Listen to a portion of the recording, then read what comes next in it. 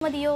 തിയേറ്ററുകളോ പോലും ഇല്ല എന്നതും സാക്ഷര കേരളത്തിലാണ് മിതമായ സെൻസറിങ് പോലും ഉള്ളത് എന്നും ഓർത്തിരിക്കേണ്ട ഒന്നു തന്നെയാണ്.